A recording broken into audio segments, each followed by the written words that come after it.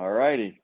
All right. Hi, I'm Dr. Kevin Duplechain, and uh, I am the Vice President for the American Academy of Cosmetic Surgery and uh, part of the annual scientific meeting committee that's planning the meeting that will be held in Las Vegas, February 3rd through the 5th um, at Mandalay Bay. So last year, we were not able to have a meeting in person. Um, it was virtual, but I did have a great opportunity to go up to Chattanooga and visit with Dr. Deal and Dr. Kluska, who was who was so gracious, along with uh, Apex Medical that hosted us for the day. And we did some live broadcast on high def lipo that Dr. Deal did, and Dr. Kluska did a beautiful mommy makeover. And so we've invited them back to talk a little bit about their experience. And these two wonderful surgeons are going to be heading up the high def liposuction course or sessions for this year's meeting. And I know you guys are, are, crazy busy and do this every single day. But Chad, why don't I start with you and you tell me a little bit about what's going on in your life and and uh, what the session looks like to you. Yeah, obviously it's an honor always um, uh, to be asked to do something like this work with the academy. That's our that's our home. Um, so uh, more than anything, I cannot wait to get back. Um, that's that's that's the meeting where it's family, friends, uh, education, but um, but definitely home. Um, you know, the high definition part of things is the, the term itself has kind of evolved, um, and nowadays people expect not just body sculpting; they really expect those wow results. And what a lot of that uh, surround itself is these um, incredible definition that you're starting to pop up a lot on social media. People are getting to see some incredible work. Uh, breast augs aren't just breast augs anymore. It's defining sculpting around the breast and adding the implant. Uh, doing abdominoplasty isn't just a good tummy tuck technique with safety anymore. It's how do you do that and actually even define out one's abs or give them certain uh, types of looks. One of our speakers is going to talk about something about the kind of the Pilates look. It's much more than just pull the excess skin, remove the fat, really taking it to the bleeding edge of what you can do and do safely and what postoperative care looks like because it is different. And it is completely different to take care of someone that you really define out. So whether it's breasts, breast lifting, tummy tucking, or just body sculpting in general, um, you could do an entire conference just on high definition techniques, um, not just removal of fat. So, um, doing this and having a busy practice to be able to take advantage of learning from mistakes. We all have complications, we all make mistakes, but being very high volume, five days a week, both myself and Dr. Kluska, we've been able to really continue to hone in. We're also always students ourselves. We learn so much from all the doctors that visit us we get so many doctors, whether it's just the ones that come for the courses of all backgrounds, whether they're boarded in plastics and cosmetics, ENT, facial plastics, um, family practice physicians, um, OBGYNs, walks of all type come in to learn their techniques, whether beginners or advanced. But then even a lot of the technology companies who need their technology training to be done well and safety um, uh, parameters they use our office to train in those techniques as well. So we have so many surgeons that come in and we train. So to take all this knowledge, wrap it up into one section, we feel like we've put together a good team of speakers that will encompass, hopefully, within our block, all of the latest trends and how to stay safe and maximize the results. That sounds a little bit generic, but I really mean it. And people are going to hear things they've never heard before. I promise you that things they've never heard before in the world of high definition. So um, we're excited. I mean, we do this all day, every day. No, you guys do a great job. We had such a good time last year. I mean, I couldn't wait to kind of get up there, and, and it was just such a great show and, and good for everybody. And you're right, you could spend two or three days or a week or a year learning all this stuff. But I know that everything y'all will be talking about will be so beneficial to everyone. So, Mike, what's uh, what you thinking about these days? What's going on with you? Well, you know, from a high definition standpoint, it's not just sculpting abs. It's not just sculpting out arms or thighs or low back or anything. But like Dr. Deal said, high definition now is all encompassing, full body. There are patients now that want high definition face, high definition chest, or, or gyne- for gynecomastia and those types of things. So, you know, when we do speak on this, we will be covering every little facet of high definition with and without the different modalities that we use, such as Vaser, Renuvion, BodyTite, those types of things. Additionally, what uh, and what I'm going to focus on too is when you do this, you do get some skin laxity. And the question is, how can you address that skin laxity in every location, whether it's neck, arms, thighs, uh, abdomen, breast, even. And so, my part of my talk um, in this um, little lecture series that we're going to do will be focusing on the ability or ways to get rid of skin laxity surgically and non-surgically. Yeah. Well, you know, there's no doubt. I mean, I know we all use a plasma device, and and and the truth is, I told you guys how it really changed my ability. And I bought it primarily for arms and inner thighs because that's what I thought. But now, I mean, it's everywhere. It's backs, it's flanks, it's necks, it's mid face stuff. It's just incredible. So I know you guys will be talking some about that, and some of, there'll be a lot of that at the meeting as well. I talked to our friend Mark Lowney today. I had a, something I wanted to talk to Mark, and Mark's talking about this super snatched waist. I think mm-hmm. in the high def session, and he was telling me a little bit about some of the post op stuff. He's he's basically started a whole business I think just around managing the post op in terms of massage and all of the things that go into that. And I, I know you guys do a lot in terms of gormets, gormet selection, lymphatic massage. Are y'all going to talk anything about that at the meeting? Yeah, absolutely. So, in fact, that's one of the things in particular Mark's going to go over. It, it sounds like it's almost too good to be true, but the difference between two surgeons treating the same patient who have the start exactly the same, but one of them took the time to go through good, good lymphatic postoperative massages, good ones, not just generic. Put them in nice, smooth, but very firm garments in the right places. Um, even on top of those garments, sometimes wearing compression or, or waist trainers, but not. But you got to be careful, not too much to cause pressure necrosis. Judicious use of drain liposuction. We never really thought about liposuction and drains. You would think of that more in the realm of maybe aggressive, aggressive, or definitely with flap based, but almost always using drains. The differences are night and day. I mean, night and day. How, how small you will get somebody's waist because we don't realize we're leaving a lot of blood behind and that turns into tissue, which can make you not just lumpy bumpy, but actually more volumized. Uh, getting all of that blood out, not just the seroma fluid, not the serous, but even the blood out people will end up with tremendous results. Combine that with a tummy tuck so you protect your diastasis closure. You didn't realize how much more of a, a tight waist you can get by protecting that diastasis for the first couple of months. These things aren't just helpful adjuncts, they're game changers in your final results. And a lot of people going, man, how does that doctor's results always look so much better? A lot of times it's the postoperative care. And a lot of doctors haven't invested into that, having someone in their office or at least someone that they can work with. I like the term that Mark uses, snooper snatch waist, because although it seems very silly to us as physicians, that's what the patients understand. So he uses terminology and he's going to use those terms with us when he's teaching us to how he communicates with patients. In other words, giving them the smallest waist possible. To me, that term was almost derogatory when I first heard it a year ago. Yeah. Now that's actually the term that people use to understand you're really going to give mm -hmm. them aggressive waist. His contrast on the, the size of the waist and the fullness in the buttock is extraordinary in one stage. I've never seen such extraordinary changes. So his his lecture is going to be great, and that's that's one of the things we're talking about. So postoperative care and how to do it in a way that's that's very very safe, and even how to do things like um, a full abdominoplasty. But how do you combine that with high def in a way that is safe and you preserve the blood supply?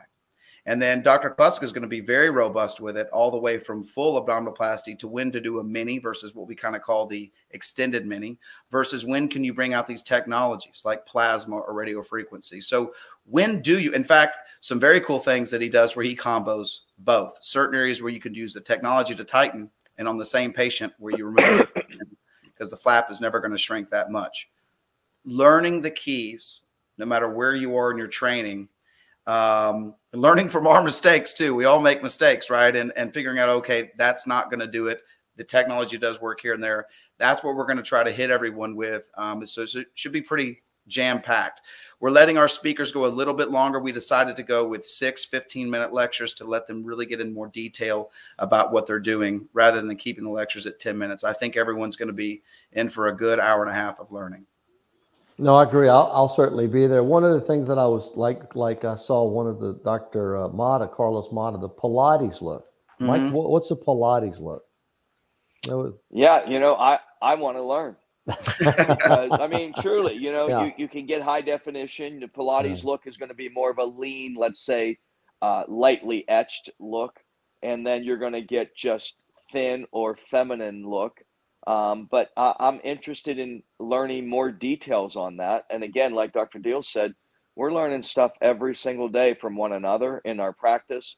And then something like this, where somebody else has come up with an idea, that's that's we're going to be able to incorporate that and take this to the next level. Yeah, uh, personally, I will tell you when you see that Pilates look, it's beautiful.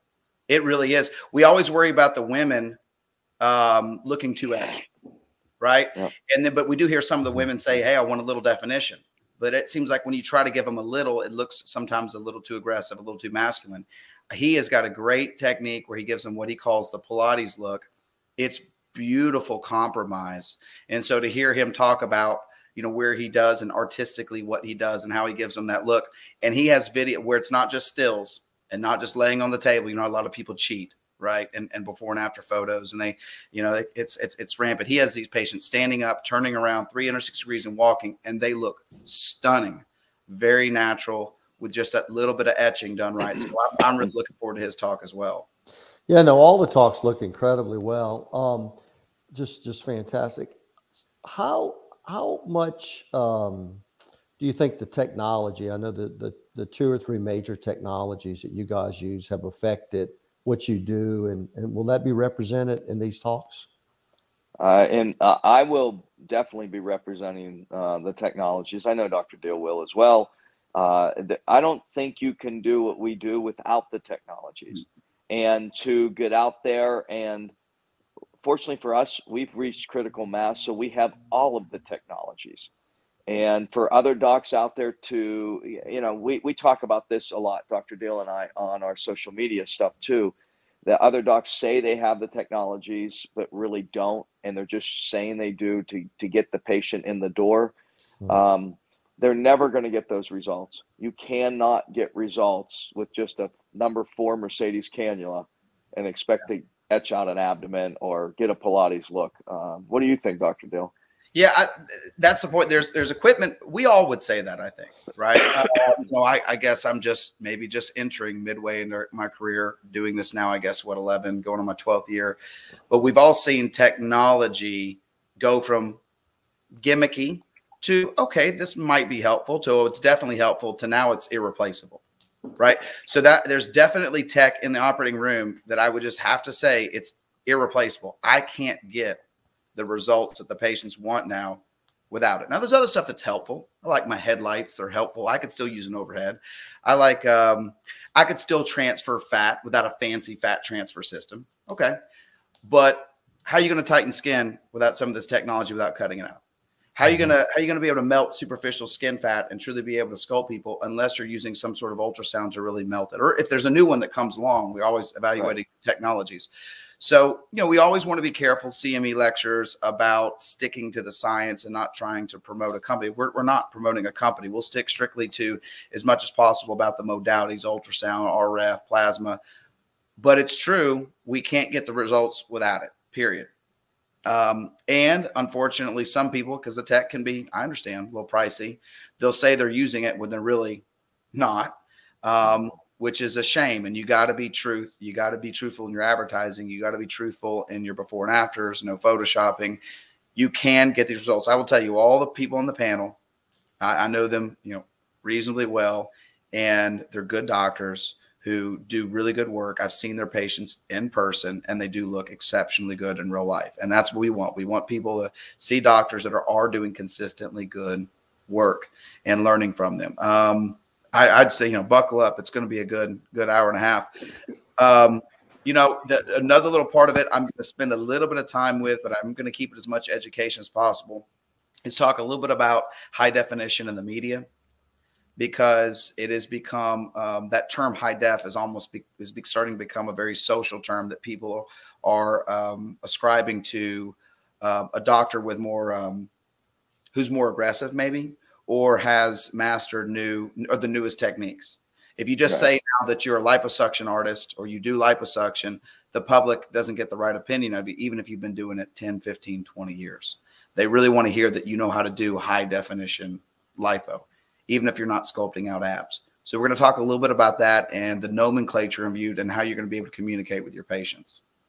Well, I know you guys will, will, will do a great job, and I know that one of the things that, that the Academy has always promoted is safe cosmetic surgery, safe environment, operating an accredited facility, all the the proper things that need to be done. And I'm sure you guys will talk a little bit about that. But that's a big and a very important thing for the public and for doctors to recognize as well that that that these are incredibly safe procedures. They're surgical procedures, but if done well and done in the right setting, that you can really push the envelope in terms of getting these fabulous results, which is what people are coming in for. Like you said, two years ago, when somebody came in and said, "I want to be snatched," I, uh, I'm not really sure I knew exactly what they meant, but right. you know, it's it's it's become something that that clearly makes sense now, and it's a hot word, it's a hot topic, and um, it's really what drives people in, into the operating room.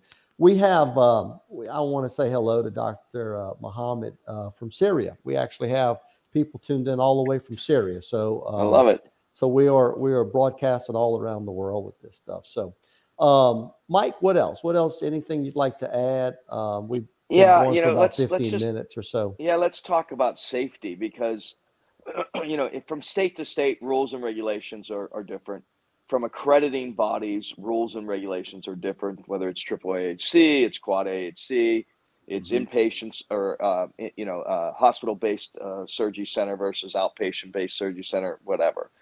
The point of it is this we are not going to present anything that we don't do ourselves and that isn't safe. Uh, Dr. Deal and I, we, we've worked long and hard on these techniques, and we realize now that, hey, maybe we have to stage that patient uh, because her BMI is 34 or whatever the case. And we're not going to show you, we're not going to say, hey, we did this all in one stage and took a 35 BMI to a 22 BMI. That's just not reality. That's not what we do.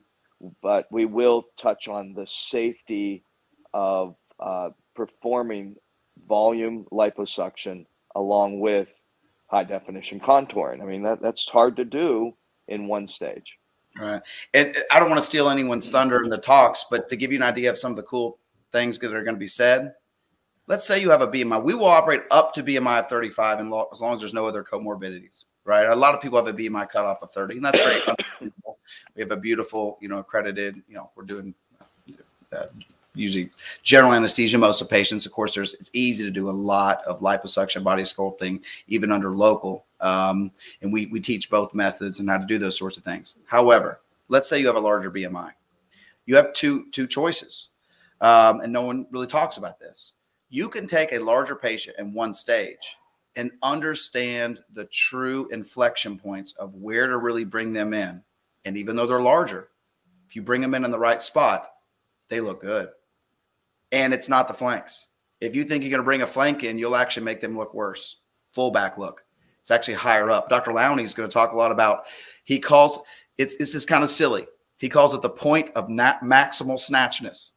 And to, to, to relay the point, there is a key point where if you will bring them in the most at that point and work your way out into what you feel like is a safe amount of total supernatant, you could even take a larger patient and give her beautiful curves.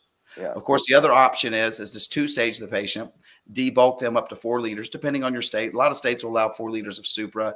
Then you can come back, take another liter or two, again, depending on your state, and you can do maybe the abdominoplasty. Or maybe you do four liters in the back, abdominoplasty in the front, and then come back and get the rest of the fat from the front and do a little scar revision because you're going to have a little excess. So, how do you handle these larger BMIs? What if you don't do tucks? What if your practice just does lipo? Then we could teach you how to give them great results and or when to pass that patient to someone who can at least do the flap-based surgery. We want this to be something that everyone's going to really learn from. What do you do with higher BMIs? What safeties are definite no-nos? Be careful with the anemic patient. Be careful. There's so many mm. anemic patients. Get their blood levels up. There's even new devices out there that you can actually check the hematocrit on a patient without sticking their finger anymore you can actually put a device on their finger and you let it sit there for just a few minutes. It'll tell you their hematocrit. Really cool tech that's out there and ma- monitoring. A lot of people are using cell savers, giving the patient back their blood, which would have sound traumatic. We only use those in trauma. We use those in aggressive cardiac surgery or, or, or actually that's being used quite a bit now in aesthetics because one of the biggest comorbidities of these longer surgeries with lipo is of course acute post-op anemia. And managing that is one of the biggest things. Anemia seroma care and post-operative constipation. Boy those three things alone. Yep. post-op seromas getting the fluid down healing and making sure they're not anemic getting the blood levels back up managing that. Um, um, and constipation. Those three things, if you master those three, your results go through the roof and the patients have great recoveries.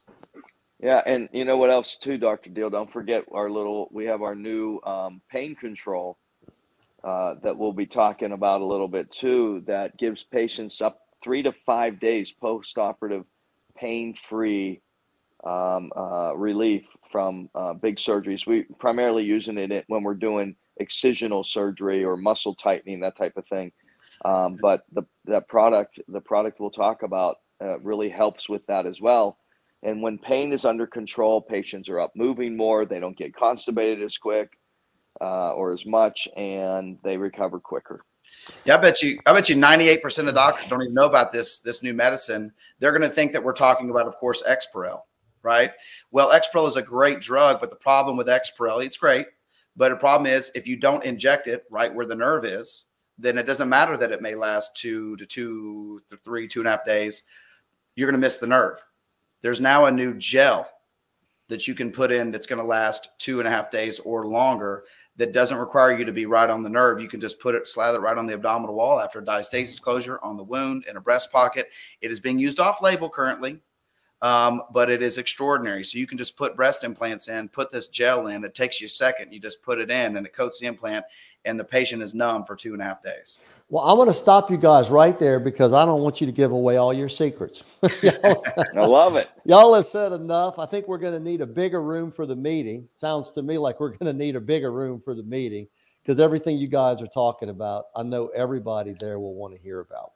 So I cannot thank you guys enough for taking a few minutes tonight. I know we've all worked hard today and um, you covered more than everything that we wanted to. I want to remind everybody that early bird registration for the AACS meeting in Las Vegas ends uh, December 14th. So you don't want to miss out. We will also be having a facelift and eyelid cadaver course on the Wednesday before the meeting. These are always fabulous, and we do have just a few spots left. So if you want to register, please do that. Follow us at hashtag AACS 2022, and we will see you guys in Las Vegas live and in person. Can't wait. Thank y'all so much, guys. Good night. Thank you. Yeah, thank y'all.